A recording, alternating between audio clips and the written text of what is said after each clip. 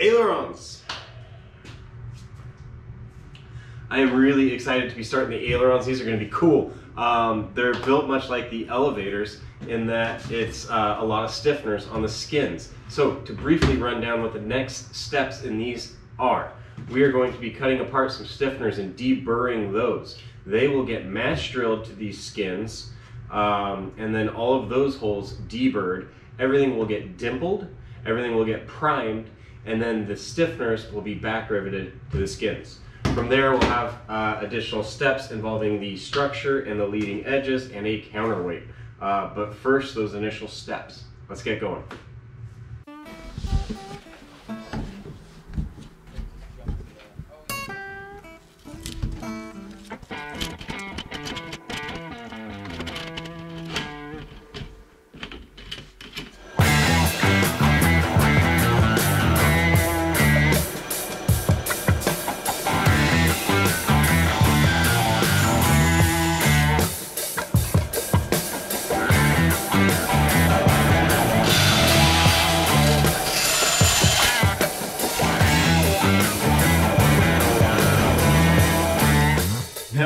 These are similar to the elevators, I wasn't kidding. I actually dug up my old jig to cut the stiffeners for that out of the scrap box, and it worked just fine to trim down the stiffeners for this.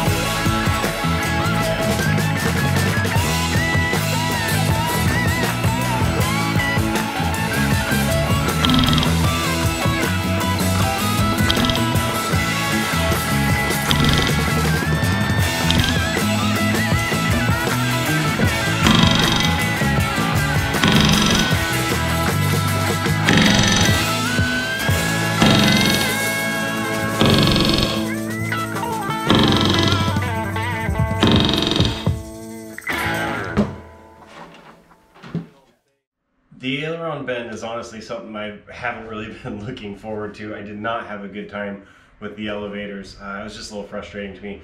Uh, but I went ahead and dug out that same contraption I used on the elevators. Uh, and I took a look. I thought one of the reasons why maybe I wasn't able to get as good of a bend on the elevators as I wanted uh, was was that there was a gap towards the rear uh, seam of that bending device.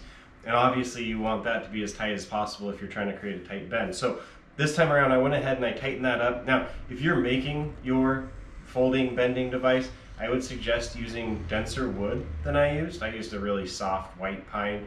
Uh, something more of a hardwood would probably help keep that corner, that, that crease tight there. And I would suggest probably some additional hinges or hinges with additional screws in them.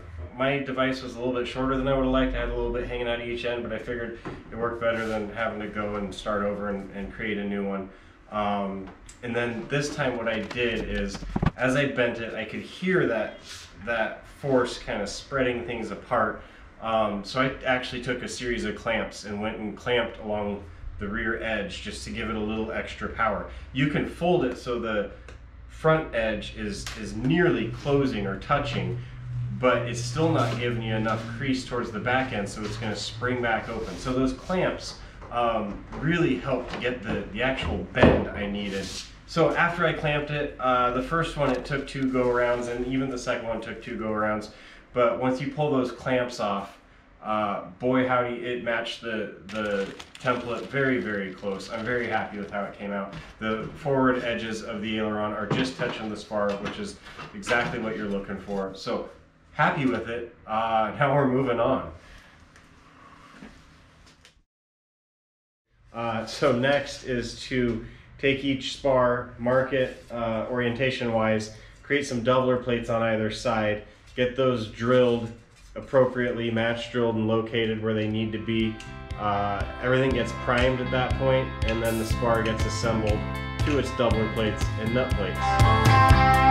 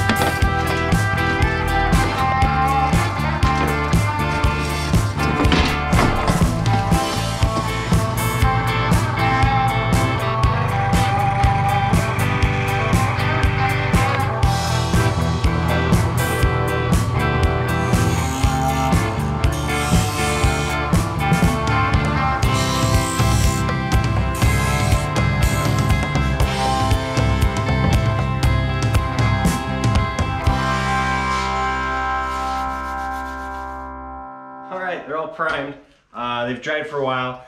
Uh, I did something silly and I, I didn't have my doubler plates in place when I match drilled the hinge brackets. So I gotta go back and rematch drill those. Not a big deal. If that's the worst thing that happens today, I'm doing pretty well. Uh, from there, it's time to once again cleco up the rest of the parts to this and mock it up so we can match drill. So that's everything from leading edge ribs to trailing edge ribs and skins.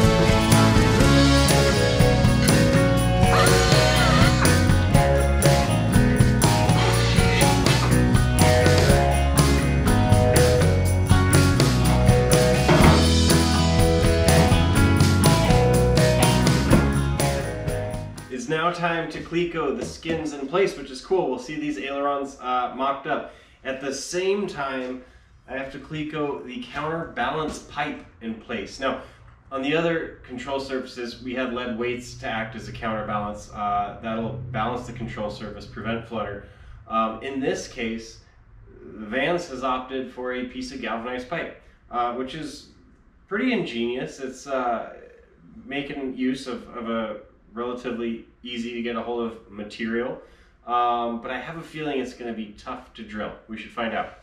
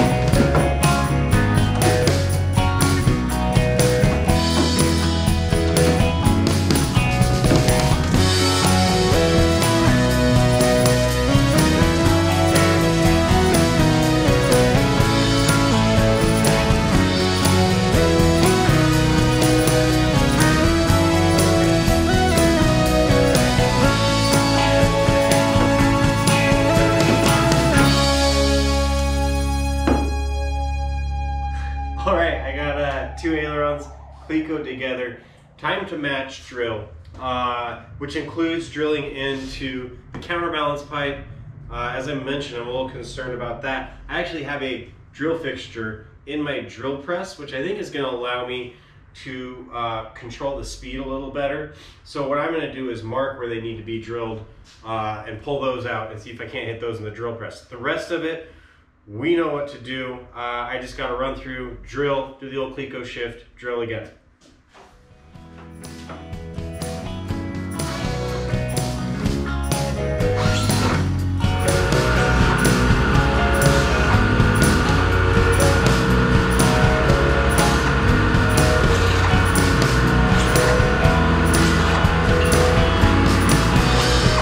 Hey, if you're enjoying this one, I would dig it if you would give me a thumbs up.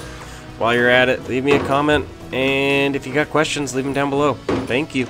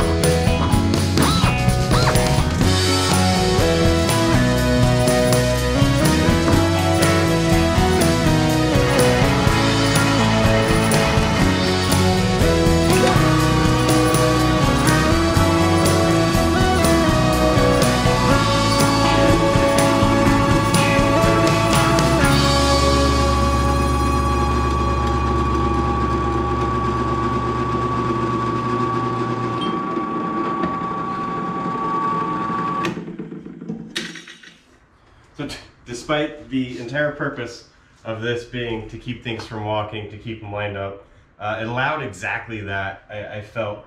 Um, and so I went ahead and I, I, finished the holes on the leading edge. Uh, and, and for the most part, went pretty smooth. Uh, using the Boelube really helps uh, and just moving slowly.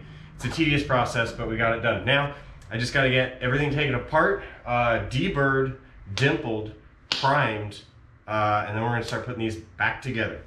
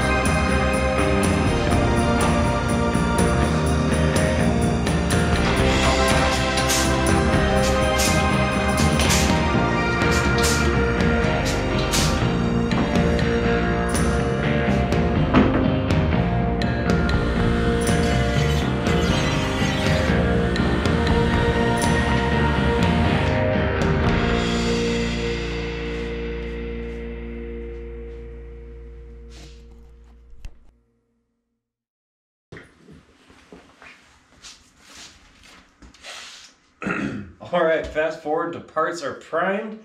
Uh, it's time to put this thing together.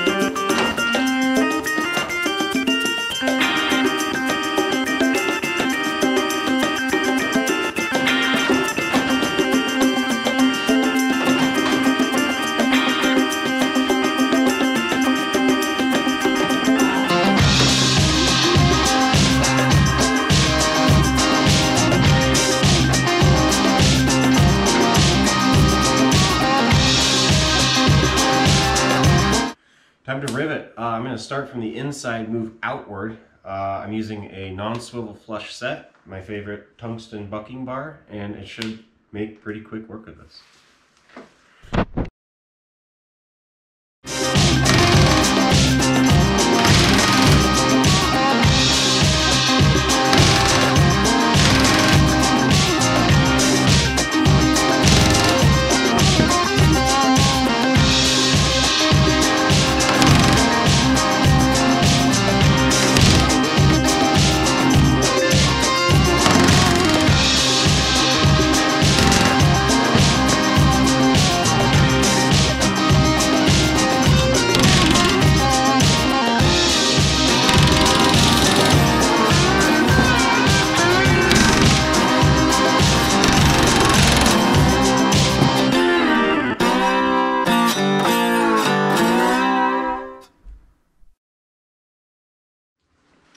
All right, second aileron is riveted along the top. Great. They're both done there. Dare I say the hard work is done. Uh, my hands are a little shot. Uh, quick tip on these. I always uh, add a little padding to my bucking bar uh, anytime it's in contact. If it's resting, in this case on the spar of that elevator, keeps it from chafing the primer or marring the metal. Now the tip in this instance is that that spar isn't bent at a 90 degree, degree angle. So if you want your shop head of your rivet to be parallel with the surface of the material, which you do, go ahead and build up the leading edge of, of the padding on your bucking bar a little more so that when it meets the spar, it's meeting at the same angle.